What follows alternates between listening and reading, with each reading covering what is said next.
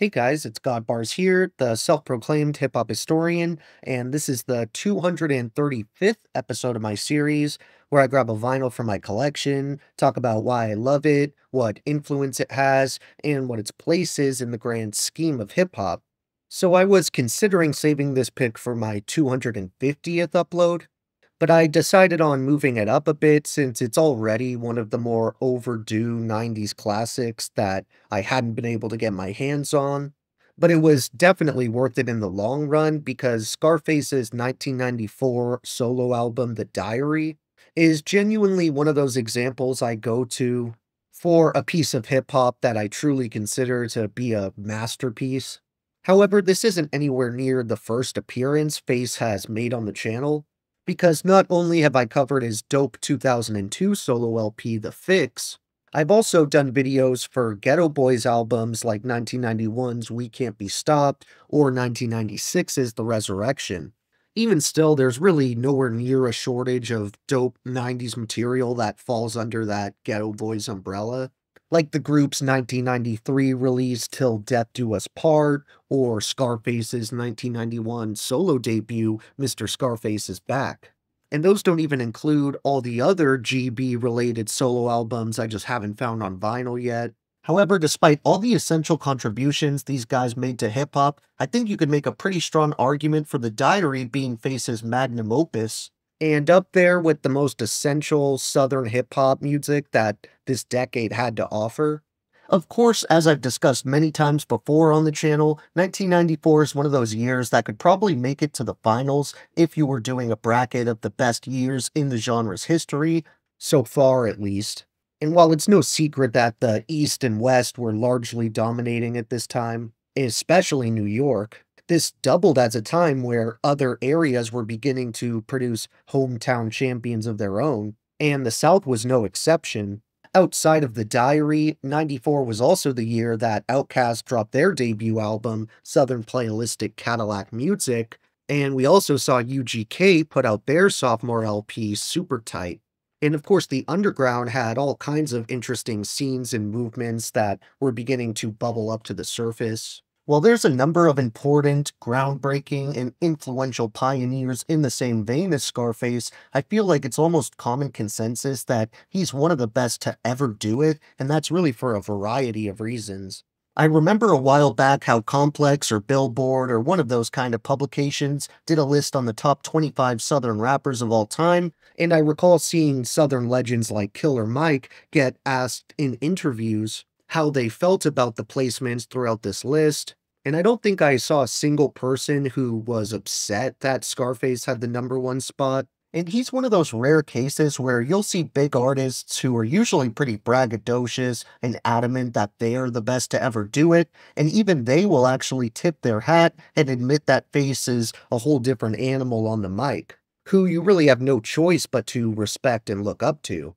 Of course, you can make a strong case for Andre 3000 being the best rapper from the South, especially if we're purely talking writing, flow, and lyricism. But as top tier as the Outkast catalog is, Scarface has classic material in both groups and as a solo artist. And as we are all painfully aware, Three Stacks has never released a solo rap album, and it doesn't seem like he plans on doing it anytime soon. But back to the classic at hand, one thing that makes the diary such a full and well-rounded experience is how Scarface manages to check practically every box you could possibly want from a quality rap album. Dense storytelling, heavy, relevant content, a commanding voice and presence, you really get it all on this thing. One of the many commendable aspects about this LP is the feat accomplished with the track Going Down, where Face manages to do one of the only non-corny interpolations of a popular song,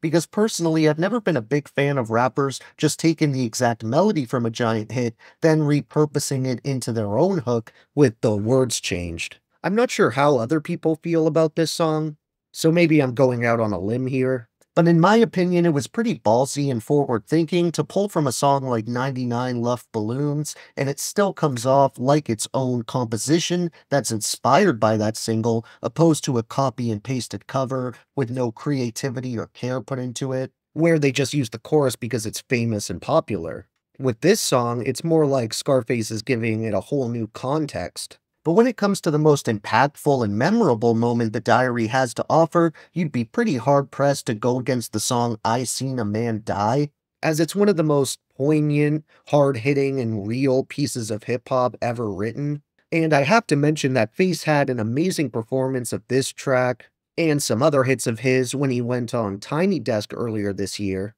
And I'll leave a link for that mini concert down in the description below, as it's a perfect representation of the sheer power and energy this dude holds as an MC. But back to I Seen a Man Die, the instrumental is absolutely iconic, and the killer G Funk inspired synth that pops up multiple times on this LP shows how Scarface was beginning to incorporate sounds and influences from the West Coast, which was also the case for certain other Southern contemporaries at this time, like 8 Ball and MJG. I feel like there's a perfect mix here between introspective and intricately penned concept tracks with the more aggressive and menacing songs like Jesse James, which is actually the first song I ever heard off this album and still remains one of my favorites to this day. There's only two features on Scarface's third studio album here, but it's a pretty significant pair of names with Devin the Dude and Ice Cube hopping on a track together, which sort of harkens back to what I said a minute ago about the West Coast having some degree of influence on this LP. Interestingly enough, this wasn't the first time that Ice Cube and Scarface had been on a track together, as they appeared together for a posse cut that I discussed very recently on this page when I reviewed Kool G Rap and DJ Polo's Live and Let Die. There's only a few names that contributed to the production on the diary, like Mike Dean, N.O. Joe, Uncle Eddie, and Brad Jordan, aka Scarface himself. And I have to say, a group this small handling all the production, mixing, instrumentation, and engineering is pretty impressive when you consider how full and polished this album sounds. As iconic as it is, I feel like I can leave I Seen a Man Die out of the honorable mentions, since I already gave it a shining recommendation earlier, and instead shout out tracks like Going Down, No Tears, One, Mind Playing Tricks 94, The White Sheet, and the title track. For my three favorite songs overall on this one, I had to go with G's, Hand of the Dead Body, and Jesse James. Thank you for watching my 235th video. Next up, we have another classic that dropped in 1994, so look for that upload, and if you enjoyed, be sure to like, subscribe, and let me know what moments you return to the most off this southern landmark. Don't forget to have a great day, and I'll see you next time, okay? I guess.